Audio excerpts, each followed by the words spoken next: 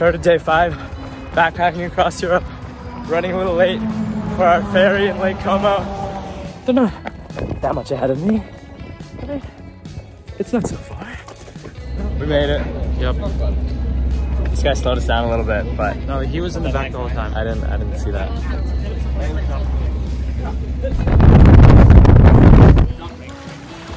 The Lake Como water. Tasty. He's scared to try it. Wow. Boom, boom, boom. Look at that. Strawberry break.